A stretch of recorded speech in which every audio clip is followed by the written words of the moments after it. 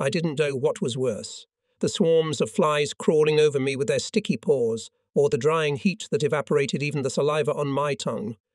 I stood up, grabbed my shirt, and waved it about, chasing the flies out of the cave. Despair settled in my soul. The sun was setting, and when I looked at my watch, I saw that it was already five o'clock. Soon night would come, my friend and protector, and hide me from human eyes. A tin can of sand soaked in petrol replaced my tile. Soon the aroma of coffee wafted through the cave. I hoped that no one walking along the shore would wonder where the divine odour was coming from. I satisfied my hunger with tinned meat.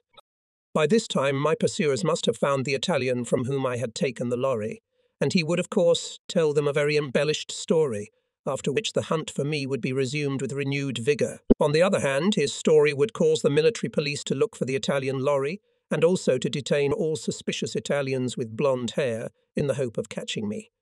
So I changed into my German uniform and hid the Italian one. After that, I sat down and began to think about what to do next. I needed a new car, fast, not too big, and in good condition, but I couldn't go to Derna and check out every car I came across. I'd have to judge by looks. Deep in Cyrenaica, away from the sea and the main road, I'll be able to hide somewhere until I'm ready to move on. There I can stock up on provisions, water, and patrol, but it's best not to think about that just yet. We've got to get there first. Coastal Cyrenaica was like a big oasis in the desert.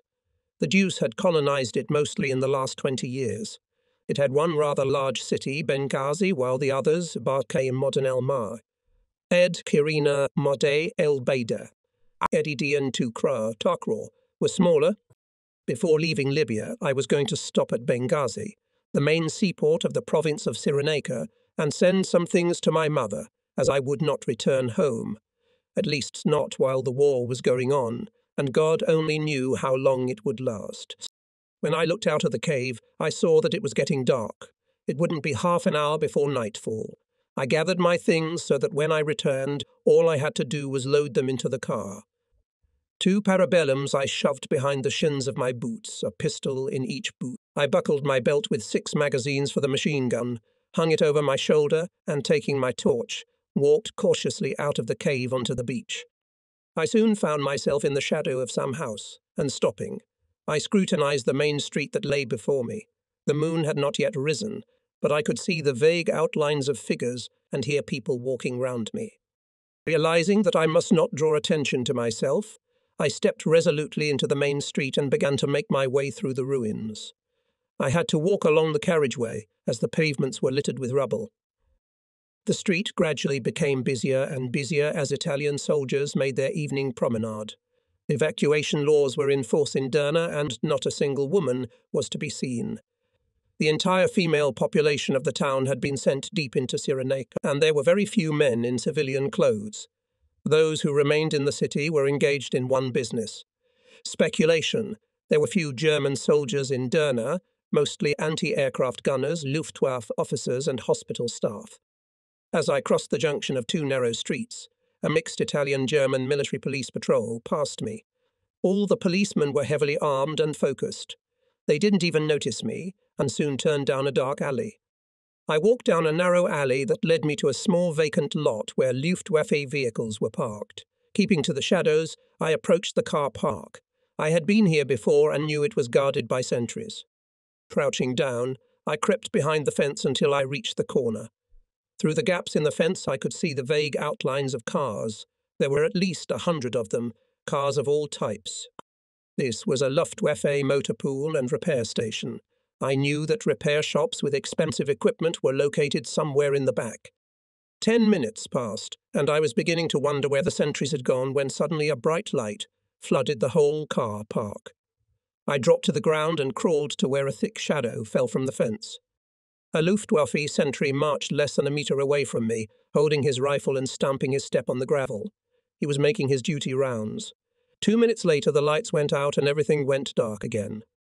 I could not understand why the car park should be so brightly lit, for Derna was constantly exposed to air raids, and if any large warship of the British Navy had been off the coast, it would have blown the car park to smithereens.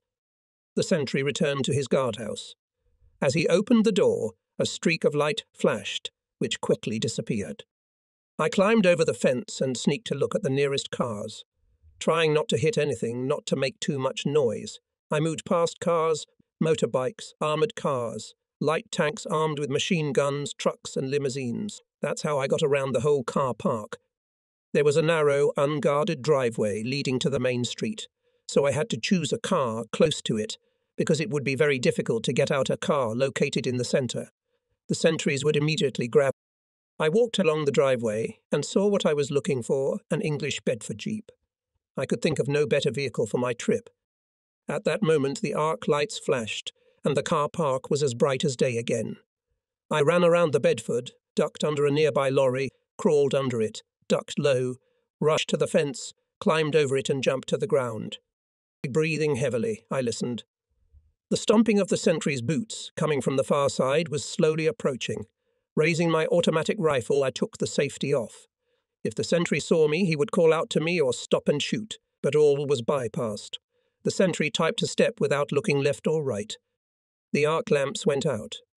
After a minute, the door of the guardhouse slammed shut. I realized that the sentry had gone inside, and then I realized that he was making his rounds every fifteen minutes, and in the intervals he kept his nose to the ground. Every quarter of an hour, the lights come on for two minutes and the sentry goes round the car park. This method of guarding was pioneered in Poland, where sentries serving in the dark were often found murdered, but it was a mystery to me why the lights were switched on here in Africa. Had the Arabs learnt to kill sentries too? I got up and walked back to the main street, wondering how I could get the Bedford into the driveway and disappear into the darkness.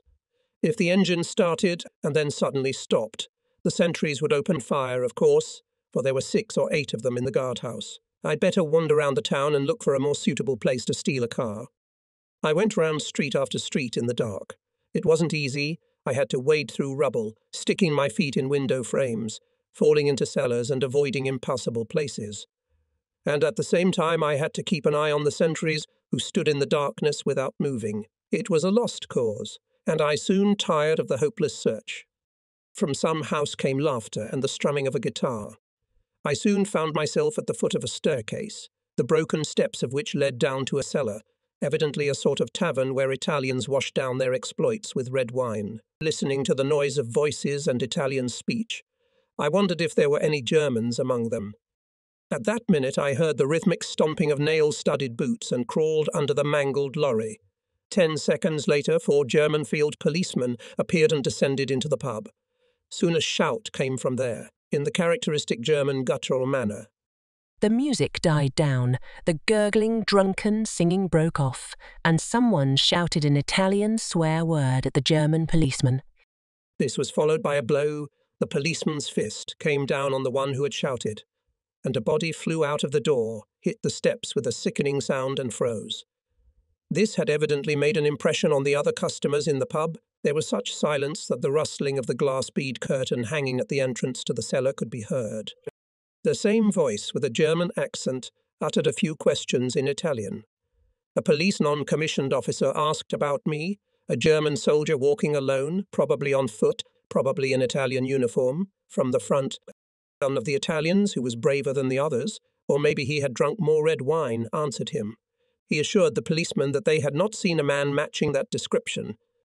Then a police non commissioned officer told this heroic company who to look for and what to do if they met. During this briefing, there was a heart rending howl of sirens, and the policeman leapt out of the cellar and ran towards the main street. Not a sound came from the cellar. I decided that the Italians had left from the back. I got out from under the wreck of the lorry and quickly ran to the same place where the policeman had gone. Commands were heard in the harbour. The heavy 80mm anti aircraft guns were preparing for a new battle. The stamping of boots could be heard in the street. Sometimes I heard voices that sounded as if from the grave. Obviously, there were bomb shelters under the ruins, but I did not like them. A single bomb would hit these piles of rubble and the shelters would be covered, and their occupants would have no need of a gravedigger. I crossed the street quickly and ran down the alley to the car park. I now knew how I would get the trophy British Jeep away from the Luftwaffe car park. Taking my former position behind the fence, I adjusted my automatic rifle so that it would be close at hand and waited to see if anyone would show up nearby. The air raid had obviously been announced well in advance, the aeroplanes should have arrived long ago, but there was silence in Derna. Not far from where I was sitting, someone shouted in Italian, No fumare, no smoking, probably fearing that those awful Englishmen would recognize even the light of a cigarette from above. The silence only increased the fear, but then the roar of engines came from the darkness. The aeroplanes were already over the city. They flew as low as possible over the plateau and popped out from behind the cliff at the foot of which the town lay. But no matter what tricks the British pilots, they could not deceive the vigilance of anti aircraft gunners. The 88 mm cannon sounded like a great organ, shells in a measured roaring rhythm. One after another flew into the brightly lit sky, and each of their burst with a tracer plume sharply imprinted against the rocky walls of the plateau. One of the bombers, caught in the intersection of the searchlight beams, suddenly separated from the formation and flew towards the sea. Its tail blazed bright flames, and the aircraft, describing an arc falling to the ground. But he was destined to reach it only in the form of small debris. He exploded in the air. In the sky, like a flock of fireflies, hung on parachutes flare bombs, flooding the city with a blindingly bright light. Everything was visible, down to the smallest detail. But these bombs did not shine for, say, 20 millimeter automatic anti aircraft. Gun shot them down like targets at a firing range. The pearly threads of its tracer shells flew upwards, crossing the darkness, and one by one extinguished those lamps of death that hung from the black sky ceiling. The first series of bombs fell in the harbour, and great fountains of water shot up into the sky. A dozen bombs hit the main street, blowing up the pavement or what was left of it. Many hitherto intact walls fell on top of the ruins. Six metres away, a fan of machine gun bullets scattered over the Luftwaffe vehicles standing in the vacant lot, I saw the sparks they shot out of the metal surfaces that came in their path. And then I heard the loud whistle of a bomb coming straight at me. I fell face down. There was a deafening rumble, the ground shook, and there was silence. The bomb fell, but it didn't explode. And I realized that fate itself was telling me that I couldn't go any further. As I lifted my head above the pile of bricks behind which I was lying, I saw the tail of a 500 pound bomb sticking out of the ground only four and a half meters away from me. It was a sign from above that spurred me into action. These unexploded bombs are not to be trusted. They have a bad habit of exploding after long thought. I didn't wait for it to happen and literally flew over the fence.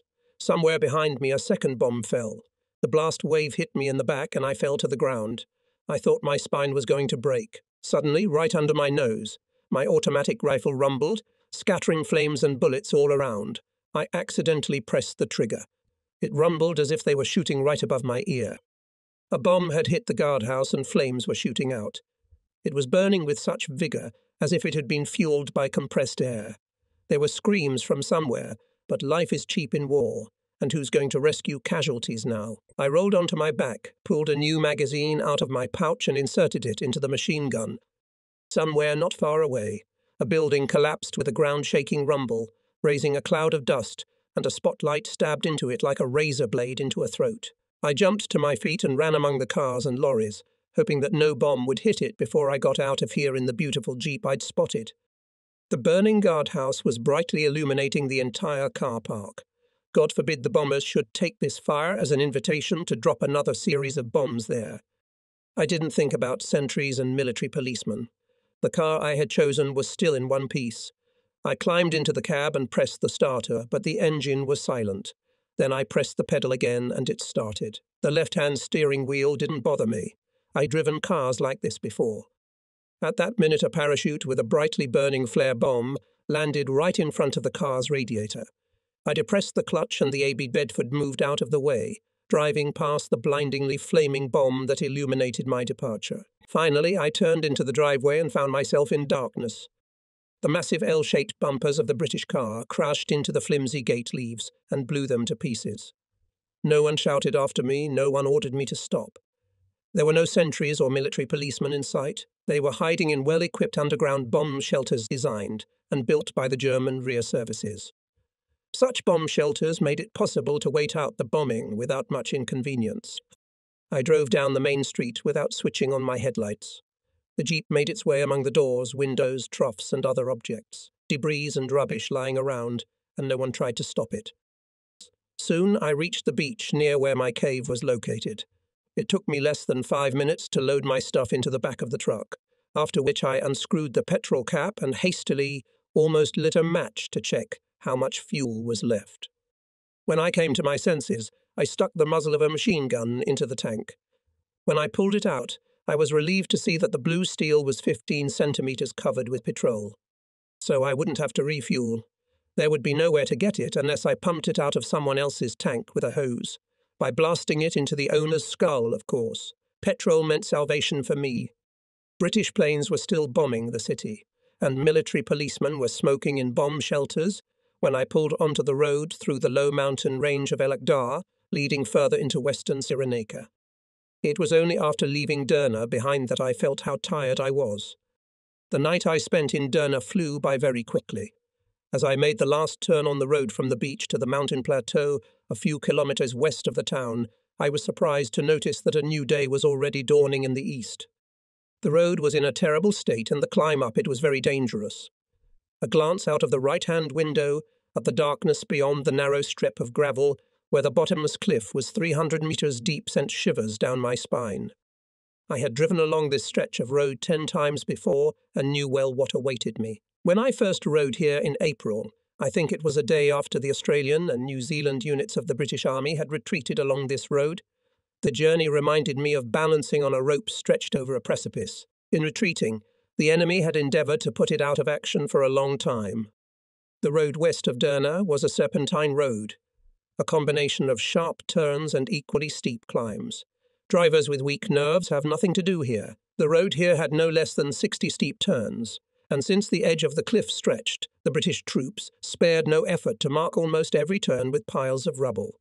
Explosions made many craters. Any grief, however, can be helped. The British themselves suggested to us a way of solving this problem, and for free. In their rapid retreat, they left behind thousands of metal fuel barrels, which were used as building material. For the first time in the history of the war in Libya up to the present, the Italians were successful.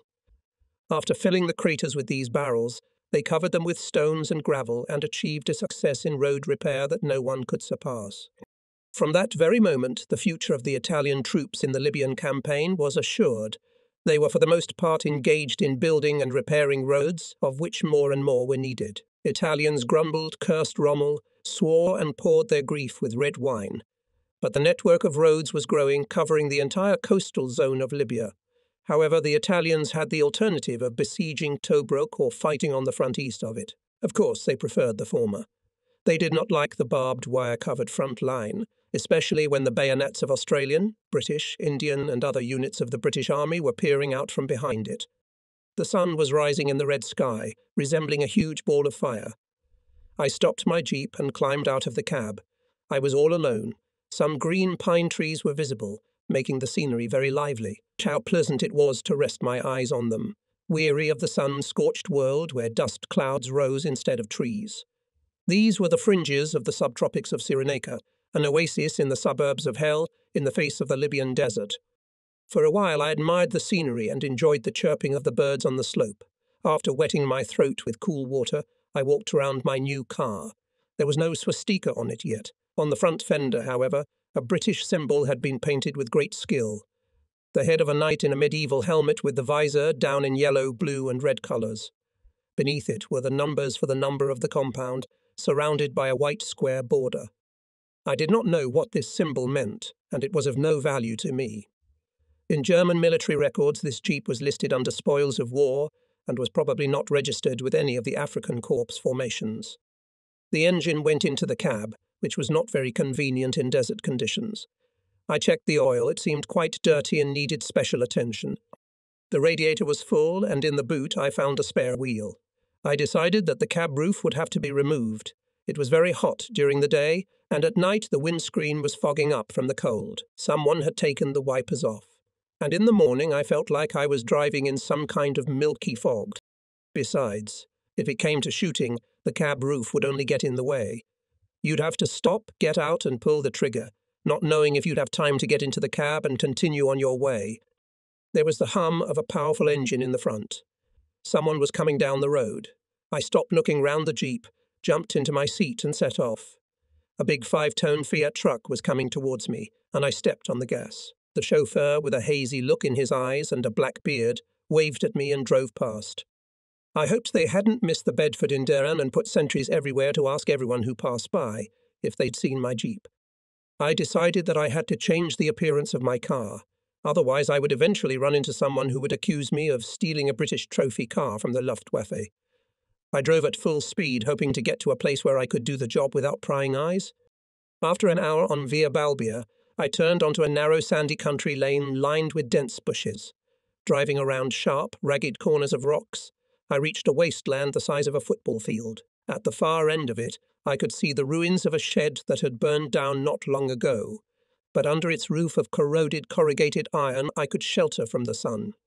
Leaving the jeep at the edge of the wasteland, I looked around, but apart from the chirping of small birds, a lizard flitting through the bushes, and the creak of rusty iron, I heard and saw nothing. I drove the jeep into a burnt shed, the roof of which gave a decent shade.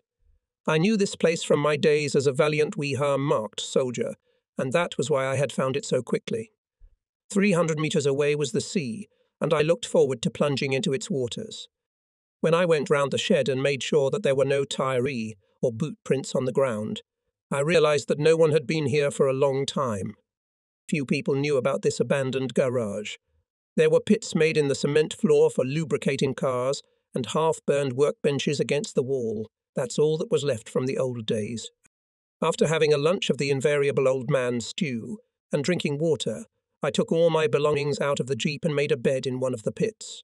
It was at least a metre deep, and I could easily turn it into a trench in case the military police looked into the shed.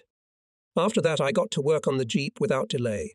At the sight of the huge number of nuts and bolts that attached the cab to the body, I decided that the makers of the Bedford had gone a little overboard. It took me several hours to unscrew them, Finally, I removed the clunky square roof, and the Jeep immediately looked sleeker.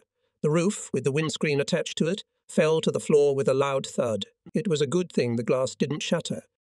Having got rid of the excess iron, I climbed into the driver's seat and examined the results of my labours. I was very pleased with them.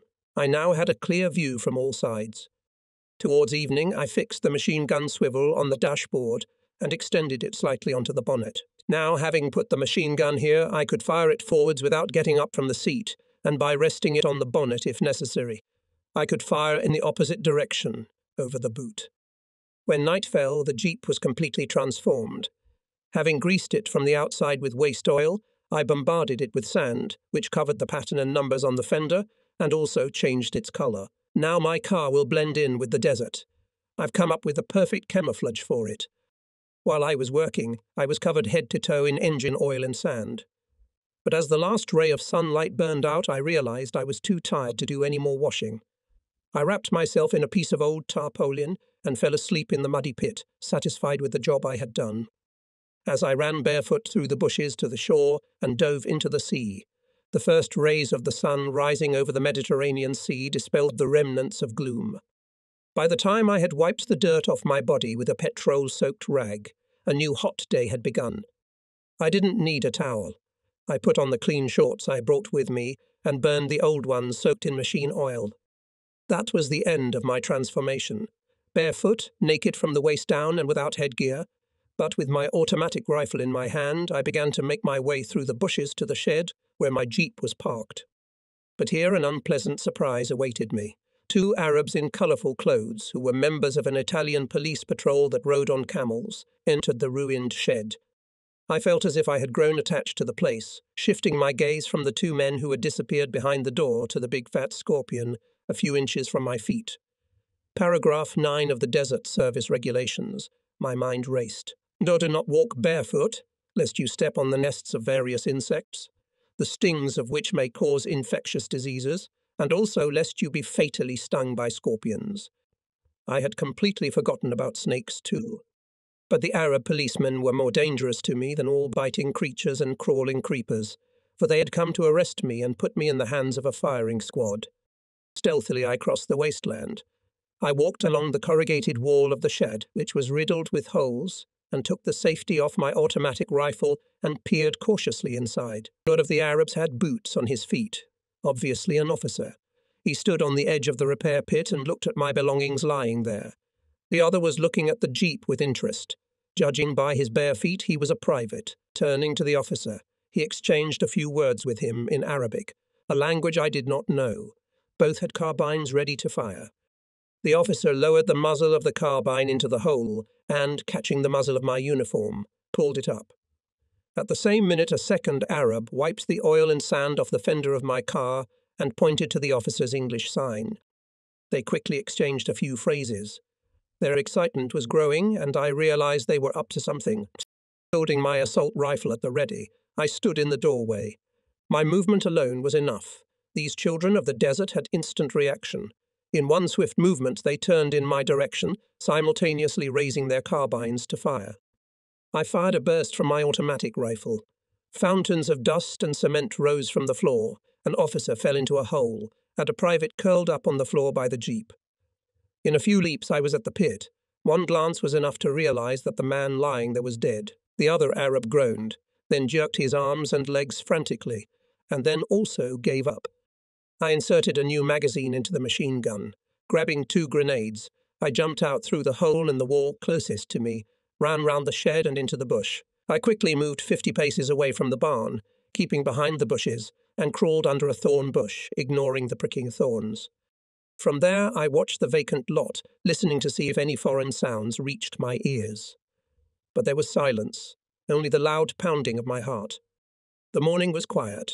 Even the birds had not stopped chirping, as if they had long ago become accustomed to the gunshots.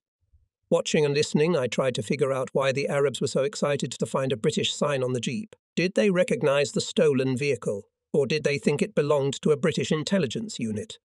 They no doubt had a clear objective, otherwise, they would not have searched so persistently. Suddenly, some rustling at the far end of the wasteland made me turn my head and raise my automatic.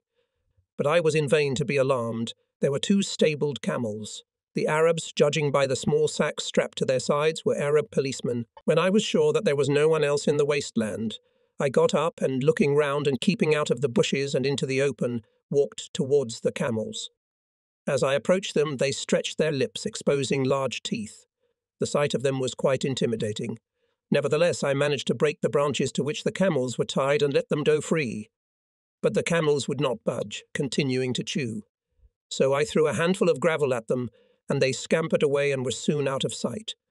When I returned to the barn, I checked the officer's pockets, as he was the only one wearing a uniform. The second Arab was dressed in a burn, a hooded woolen cloak like a tablecloth wrapped round his body, and girded with a belt and cartridge case, he looked like a pirate. I found nothing of interest in the officer's pockets, and having finished my examination, left it at that. I lowered the burro clad private into the same hole where his chief was lying, and covered them both with a piece of old tarpaulin. They would be found soon, I had no doubt of it. The police patrol on camels, created by the Italians especially for travelling round the desert, was not a bad idea at all. I had no doubt that the two Arabs had been sent from Derna on a mission to capture me if they saw my car tyre tracks in the sand. They had succeeded in finding me, but it was a pity that the German military police had put the dirty work on the Arabs' shoulders and I had to kill them or maybe the Italian police sent them. I did feel sorry for the murdered Arabs, but my own life was at stake. I defeated them in a fair fight. That was their fate.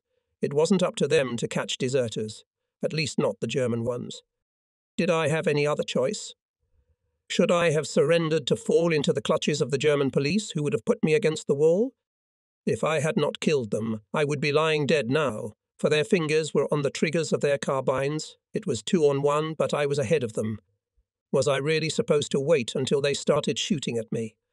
We are at war, where such things happen all the time. But that thought didn't bring me any relief. The only thing that comforted me was that when I saw that they had not returned, a search party would be sent from Derna to find them and bring them to the ground with honour.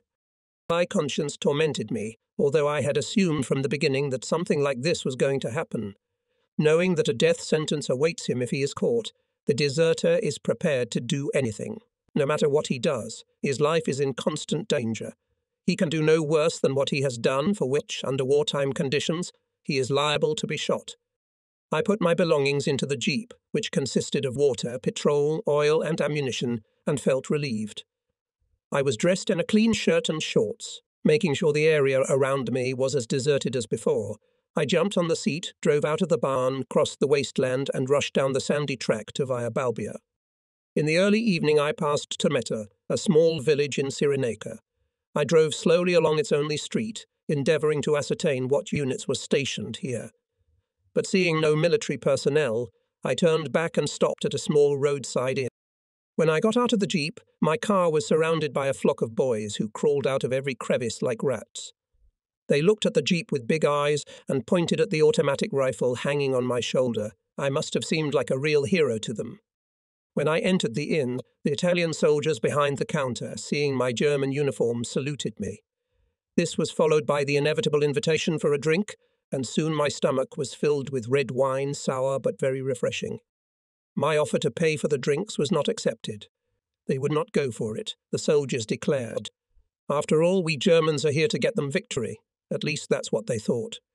Soon I knew everything about Tomet, what state its garrison was in, and what security measures had been taken, namely none.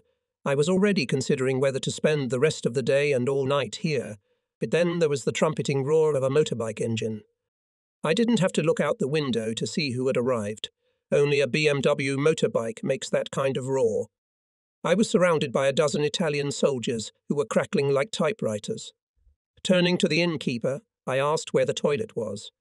Smiling broadly, he lifted the counterboard and led me into the corridor.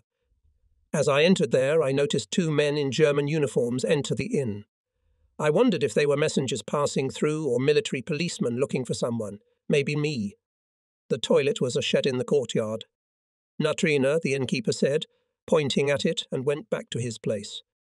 Making sure he wasn't looking in my direction, I quickly ran round the house and, jumping out into the street, noted to myself happily that my jeep was far away from the door, so no one would see me leave. The boys were still crowded around my car, and right behind it was a BMW motorbike with a sidecar. I quickly jumped up to it, fumbled with my hand for the ignition wiring harness, and ripped it off and took it with me.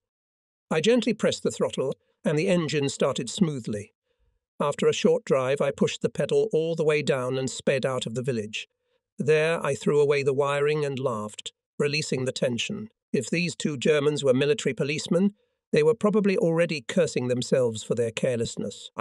But if they were messengers, or just people travelling on their own business, they'd probably beat the boys up, thinking they were the ones who'd torn the wires. But be that as it may, I was firmly convinced of one thing they would not be able to start the motorbike, and this thought reassured me. At sunset, I reached Barca. This town stood in the centre of the relatively fertile area of Cyrenaica, colonized by the Italians, about 60 kilometres from the port of Benghazi. The streets of Barca were a cluster of potholes, ditches with crumbling edges, cobbles, and rubbish. Along the lanes were Italians in uniform, Arabs wrapped in their white burnouses, and crowds of frantically gesticulating Arab children. Among them stood out as bright spots, proud signorinas with sparkling eyes, tastefully dressed in colourful outfits. They moved among the crowd with graceful, easy gait, despite their high heels. I stopped at the door of the hotel on the main street, deciding that I shouldn't stray too far from the proudly parading black haired signorinas. The closer I was, the better. I hoped to get to know some of them better, but more on that later. The hotel, surrounded by neat lawns and trees, stood a little at the back of the street, giving the impression of being luxurious and cosy. I walked past the lawns to its door, thinking that there might be other Germans here, travelling to or from the front. But I hoped to spend only one night here. In this town lived a man whom I knew well. He was Ben Omar, whom I had befriended when I had rescued him from the clutches of the Italian police. But first I had to find him, because I didn't know where he lived. As I waited for the porter to arrive, I saw German military caps on the hooks at the entrance to the restaurant. I took off the safety of my parabellum, which was in my trouser pocket. I must not forget to be vigilant. I was well aware of the danger I was in at this hotel, but I needed a room to sleep in a rear town. I could not sleep in the street. Behind me, the door opened, and turning round, I found myself face to face with the Italian major. As I stood at attention and saluted dashingly, I wondered what he was doing here, for he was standing behind the porter's desk. Buonasera, Caporale, good evening, non commissioned officer. He greeted me, and I noticed that his uniform was made by a good tailor, and that his black velvet collar was decorated with red and gold buttonholes. I was confused for a moment, but then I told him that I needed a room. That can be arranged, he replied. German soldiers often stay with me. Are you from the front line? he asked. I confirmed this and added that I was travelling to Tripoli as a messenger. Ah, Tripoli. He sighed dreamily and, opening the visitor's register, held out a pen for me to write my name in it. How I wish I were in Tripoli now. It is not a city, but a jewel, a music. He seemed too enthusiastic, and judging by the expression on his face, was a typical gigolo. Hey, but I have to live in this thieving Arab brothel where they have no concept of culture. He intrigued me, and I asked him how it was that he, with the rank of major, was working in a hotel as a mere clerk. Mm, no, he exclaimed. I am the commander of the artillery division stationed here. I bought this hotel, and as the front line is far away now, I combine service with business. I hope those damned English won't come back here again, or I'll have to go to defend our poor Italy again. He must have thought that I admired his story, but I was shocked to the core to see a major who, while on active service, manages to keep a hotel. The Italian rang a bell with a graceful gesture, and like a flock of rats, four Arab boys came rushing towards me. The major said something to them, but I could not make out what, and then explained to me that he had told them to take me to my room and my things. You have some things with you, don't you? He asked me rather dismissively. I replied that my things were in the car, but that I was not going to take them with me to my room, as I would be leaving early in the morning. He again said something quickly to one of the boys, who answered him with equal speed, if not faster, and I went off in the company of my escorts to the jeep. Leaving them waiting on the pavement, I climbed into the car and found my toilet articles. Taking an overcoat, I discreetly wrapped a machine gun and a couple of grenades in it and handed it to one of the boys. We went back to the hotel and one of them remained squatting on the pavement, waiting for the jeep. The room I was taken to was large and full of air. I tipped the boys and they left. The large doors opened onto a balcony overlooking the road. I noticed at once that it was about three metres to the ground from it. Down below the balcony was a driveway that led to the back of the hotel. There wasn't much furniture in the room. There was a small dressing table beside the bed, and the shower stall was covered by a curtain. Rolling out my overcoat, I stuffed my automatic rifle and grenades under the bedspread, undressed and hurried to get under the shower. But I almost jumped out of there. The water was as hot as boiling water. The water pipes had obviously been laid on the ground, and the merciless sun was heating them up. I turned the tap and managed to wash myself without getting boiled. Putting on my shorts, I collapsed on the bed, fighting the drowsiness. It was getting dark outside the window. I lay there, contemplating my next move. I needed to get to Benghazi, mainly to send some things to my. Benghazi was the nearest civilian post office to the front, from which I could send a letter or parcel without fear that it, like all correspondence from the front, would fall into the hands of the military censors. I did not know what I was going to do in the near future or what the future held for me, if indeed I had one, so I was anxious to get some of my things home. Once I had them, my mother would no longer worry about me, for she had probably already been informed of my escape from the army. In such cases, the Gestapo acts very quickly. I shaved and dressed, deciding to walk around the city and look for Ben Omar. I had no doubt that if someone broke into the room in my absence, the machine gun and grenades under the bedspread would not be visible. Switching on the light, I left the room and was about to go into the foyer when suddenly I heard voices speaking German. I froze in place, speechless. Taking a few more steps, I saw the porter's desk. Behind it, I saw the familiar figure of an artillery major, who was also the owner of the hotel, and in front of him stood four German military policemen, armed with automatic rifles, whom I had least expected to see here. Their military police badges gleamed on their chests, in sharp contrast to their dull steel helmets. The eldest among them was asking the major questions in Italian in a harsh voice, and the latter was gesticulating with the vigour of a beached fish, beating its tail against the sand. Sai, sai, tenente. Yes, yes, lieutenant. He shouted. It's him, the messenger WB assured the Germans. And then it struck me. He was talking about me. I immediately realized that the military policeman knew that I was staying at the hotel. I heard them asking the major to show them my room. I rushed back.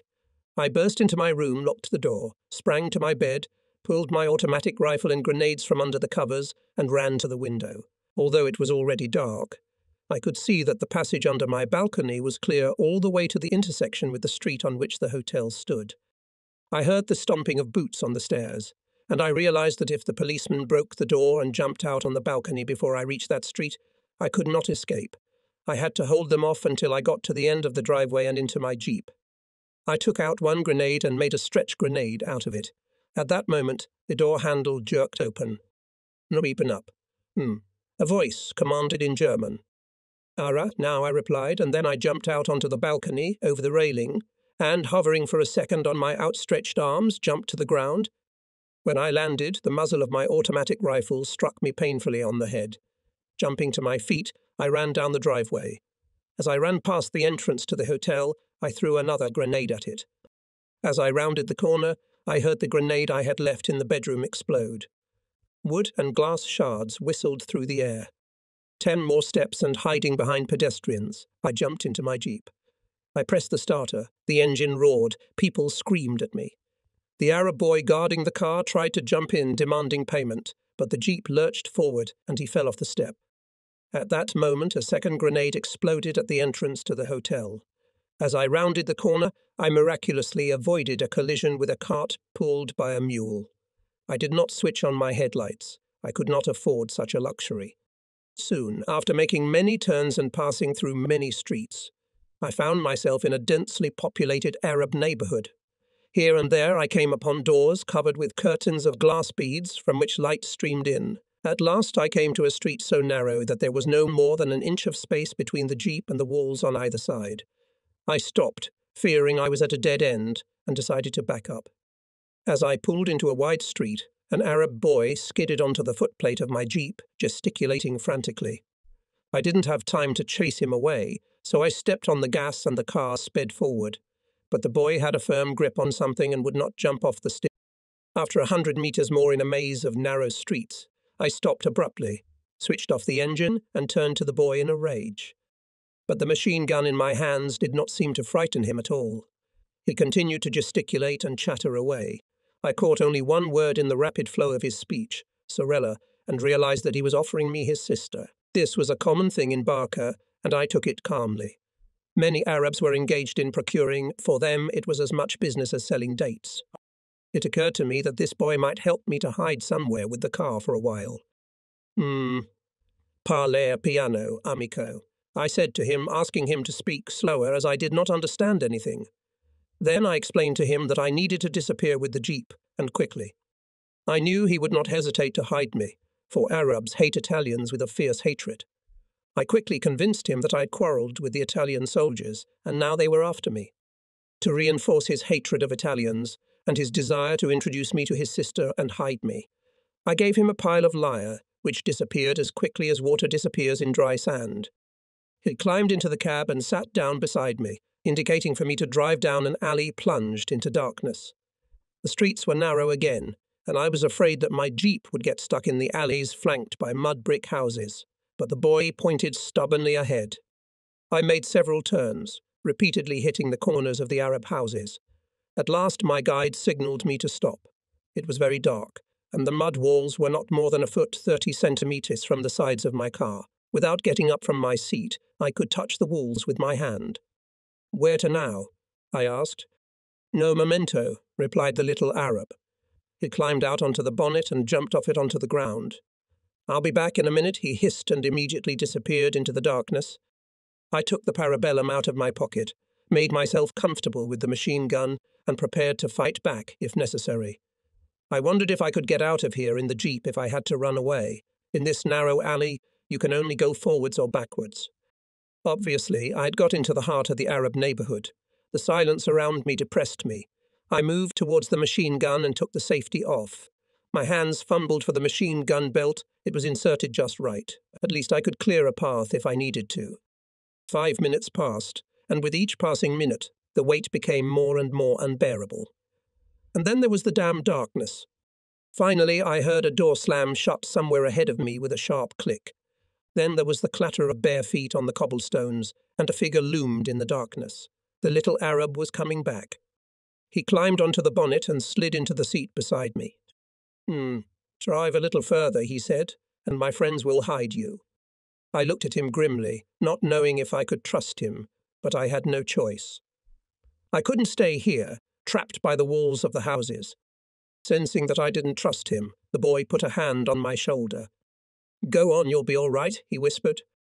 I started the engine and drove on down the dark alley, the width of which I could judge only by the edges of the roofs that hung down to the right and left, dark against the lighter sky. After a hundred metres, we came to a wider street that crossed the alley at right angles. Right in front of my jeep's nose, the light of a street lamp flashed. Stop, amico, the boy whispered. At the same moment, a figure jumped on the bumper of the jeep. This is a friend, my guide said softly, and spoke to the newcomer in Arabic. There was an exchange of gestures and excited hissing. His name is Ibrim, the boy told me in Italian, he will take us to a house where you can stay. I shook my head doubtfully. What about my car? I can't leave it in the middle of the street. Don't worry, he reassured me. We'll put it in the yard behind the gate, and no one will see it. These words gave me confidence that the Arabs were not going to deceive me, and we set off. Ibrim sat on the bonnet and, as we drove into a new street, showed me where to go. Five minutes later, we stopped in front of a large house and Ibrim vanished like a shadow into the darkness. Soon he returned, accompanied by another Arab. They whispered about something, and then Ibrim and the Arab walked forward and lit a lantern at a large wooden gate that someone had opened from inside. Ibrim lit the way, and the Arab boy made a sign to me to pass through the gate. They immediately closed, and I saw that I was surrounded on all sides by dark figures. Some of them were holding torches switched on. I counted seven or eight Arabs with cartridges on their chests and the latest carbines in their hands. My hand reached for my assault rifle, but the boy put his hand on my shoulder again. Don't be afraid. You're safe now? Easy for him to talk about safety. I could hardly believe it. Ibrim appeared beside me and waved towards the house. Hmm, come in, he said, and don't worry. You and your jeep are in a safe place. I wondered where I'd driven into. Maybe it was just a cleverly set trap. But I knew I couldn't let on that I was worried about anything, much less ask any questions, especially with these Arabs with torches pointing their fingers at my jeep, the machine gun, and myself. Holding the machine gun in my hands, I jumped from the driver's seat to the ground. The sight of armed figures in the dim light of the street lamps did not inspire me with confidence. I cursed to myself, cursing my stupidity for being in this situation the 32 rounds in the magazine of my automatic, and the nine in the parabellum in my trouser pocket gave me some confidence that in case of emergency I would be able to break through to the street. The Arab boy who had brought me here climbed into the chauffeur's seat of my jeep on Ibrim's orders and stayed there while I followed Ibrim into the house. He shone a torch down a narrow corridor, at the end of which the stone steps rose to a door. I felt goosebumps run up my spine. Ibrim knocked on the door, which opened immediately. Behind it stood another Arab whose figure stood out clearly against the light burning inside. He was armed with a parabellum, which protruded from behind a red silk girdle tied around his waist. We stepped inside, and he slammed the door behind us. Not a word was uttered, not a greeting. In the light of the oil lamp hanging on the wall, I saw the piercing eyes of the guard, who kept his gaze fixed on my automatic. The Arab's eyes were eager to take it from me, and I clutched it tighter to my body. Ibrim pointed to a door that led to another room. Boss, he said in Italian. I nodded and followed him. We entered a large room. The soft glow of two braziers with smouldering coals illuminated it with a diffused light. Ibrim bowed to an Arab dressed in flowing white robes and said something quickly to him. I could not make out the words, but I noticed that the Arab in white was staring at me intently. His black eyes slid over my face, lingered on the iron cross hanging on my chest, and stopped on the automatic rifle. I tilted my head slightly in greeting and waited tensely to see what would happen next. The Arab extended a swarthy hand and said hello to me in clear Italian. I shook his hand, but I thought it was unlikely that I would be able to explain my predicament to a man who was probably connected with the Italian administration. His eyes were intense in my face, as if he wanted to read my thoughts. The look made me uncomfortable. With a broad gesture, he pointed to a mountain of colourful cushions piled on the carpet that covered the floor. Ah, sit down and rest, he said, and sat down cross legged. I had been with Arabs before, and I knew a little of their customs. I glanced at Ibrim, who was standing beside me, and saw that there was a cheerful light in his dark eyes. I was suddenly at ease, and I smiled back at him. Putting the automatic on the soft, thick carpet, I bent down and began to pull my boots off my feet. In an Arab house, before sitting down, a guest must remove his shoes out of respect for his host. Feeling undressed without boots, I made my way to the mountain of cushions the Arab pointed out to me and made myself comfortable on them. The host watched my actions with great interest, though the scrutinizing expression never left his face. My name is Abdul, he said. He spoke in correct, pure Italian, and his voice sounded authoritative and firm. My name is Gunter, I answered. I come from near Tobruk. I thought Abdul looked about fifty or so, but it was hard to judge his age, for his well groomed beard might have aged him a little. Ibrim sat down across from us. Abdul clapped his hands, and a figure slipped out from behind the curtain and stood beside him. They exchanged a few words, and then I realized it was a girl, though only her eyes were visible. The whole figure of the girl was wrapped in a wide, dark garment, and her head was covered with a black cape. Abdul said something to her, and the girl disappeared behind the curtain. Oh, forgive me for speaking my own language in front of you, Abdul said, but not all of us know Italian. It is a pleasure to be your guest, Abdul. This is your home and your language, I replied. The girl returned and placed before us a silver coffee pot, steaming with steam, and a silver tray on which stood fragile cups, such as I had never seen before in my life. The girl took off her cloak and was left in a yashmak of fine cloth, which covered the lower half of her face. Kneeling down, she opened the tiny tap on the coffee pot and poured coffee into the cups. The air was filled with the strong aroma of coffee. The cups were very small, but the coffee was thick and very strong. Small, swarthy fingers placed the cup in front of me. The girl lifted her head for a moment, and big dark eyes looked at me. Abdul and Ibrim took their cups, and the girl left. Abdul picked up his cup and said, My home is your home, stranger.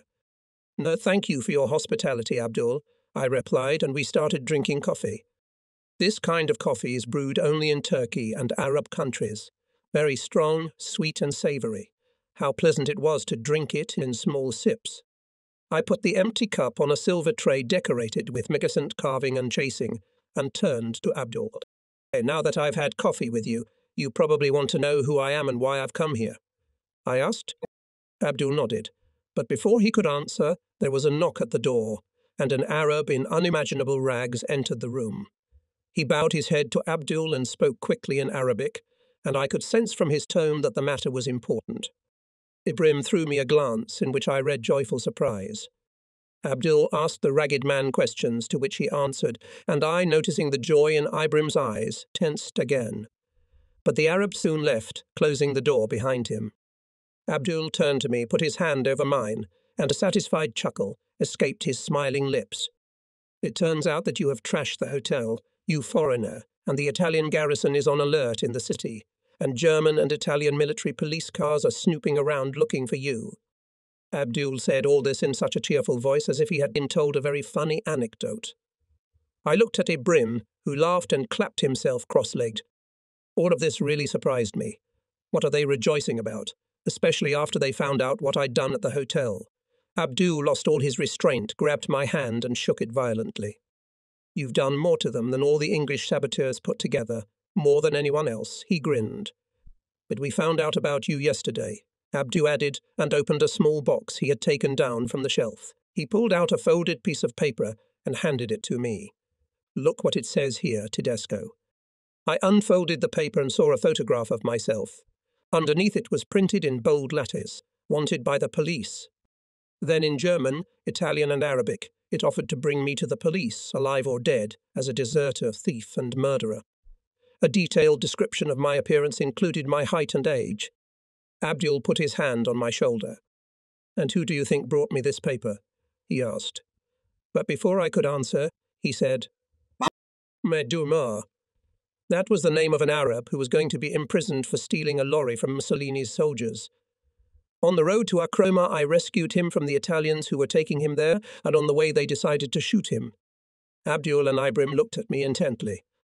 Yes, mate, Abdul exclaimed. Ben Omar brought me a poster with your picture just yesterday. He took it off the board outside the town office. brought it here and explained that it was a picture of the German soldier who pulled him out of the clutches of the Italian policeman when they were about to kill him. Abdul clapped his hands and the girl reappeared from behind the curtain.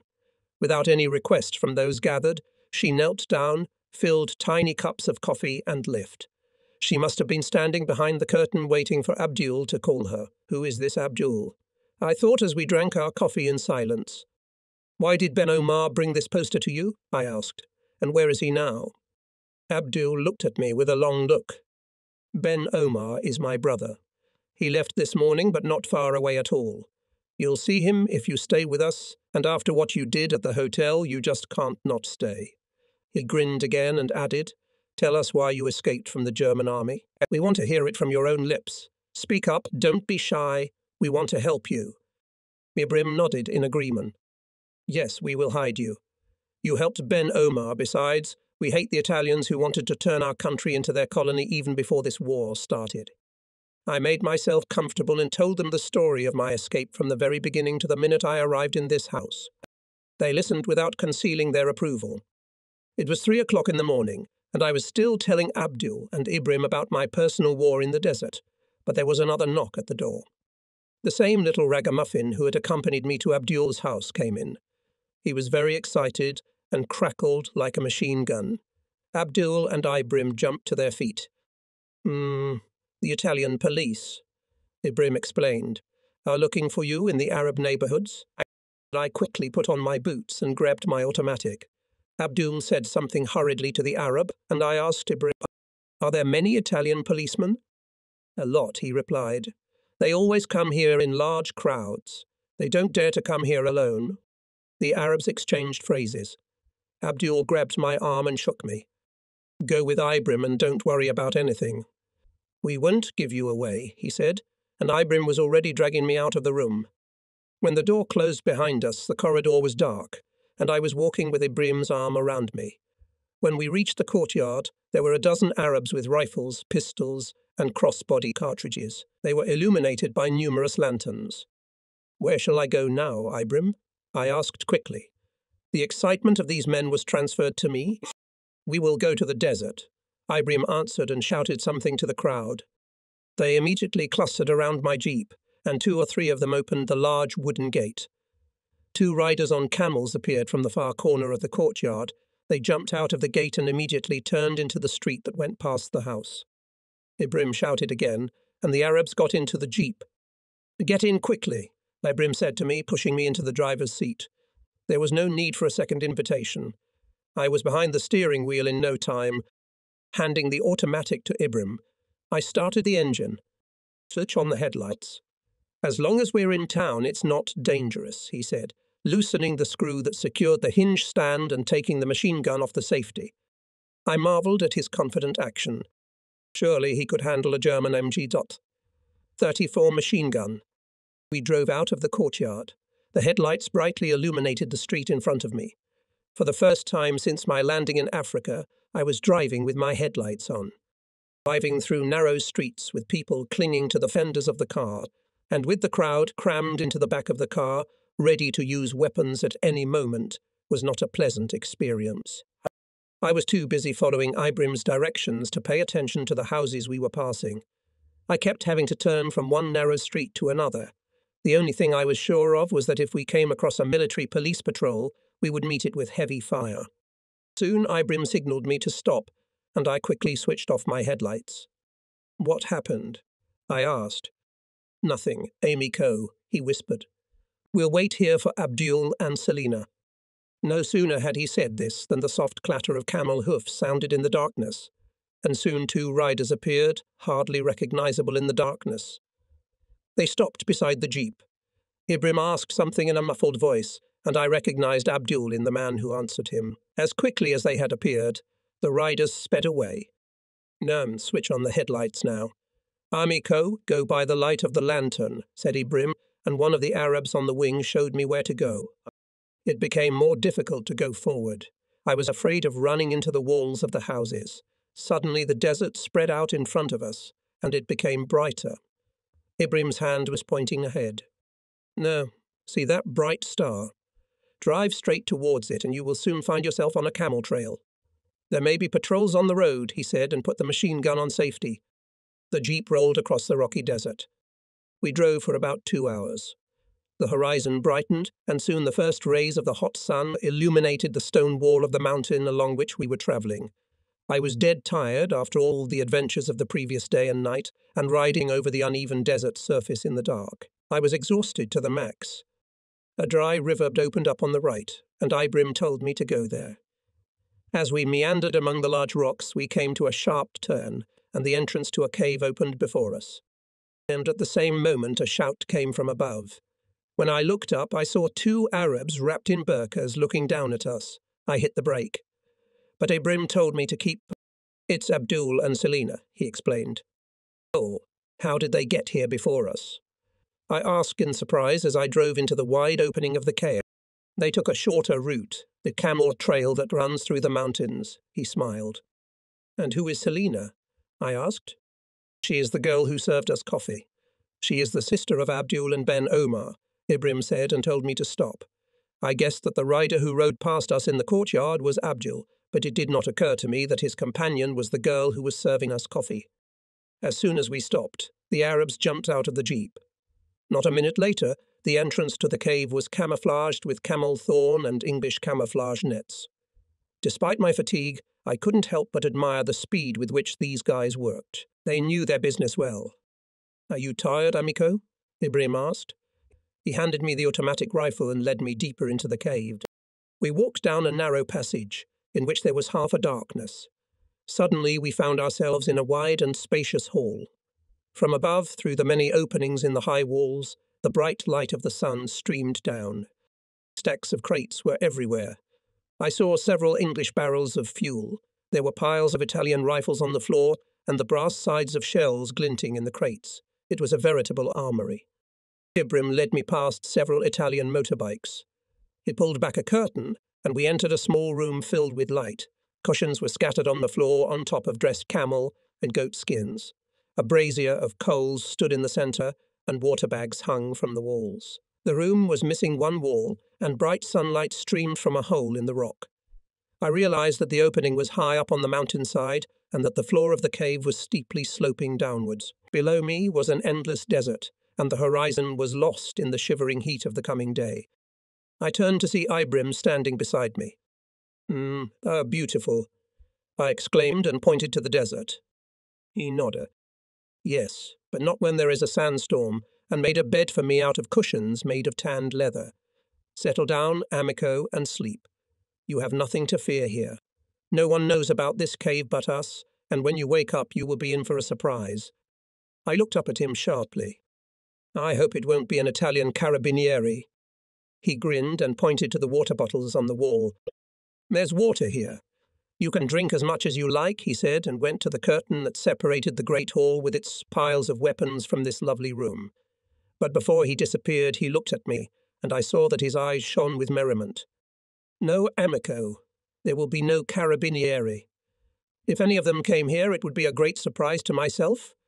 See, the curtain fell, and he left. I admired the desert for a while longer. A great cloud of dust was rising in the distance, and slowly, very slowly, it crept towards the rippling waves of heat. Then, hardly able to move my arms from fatigue, I took off my boots, threw the automatic on a pile of cushions, took the parabellum out of my pocket, put it beside the other gun, and immediately fell into a dream.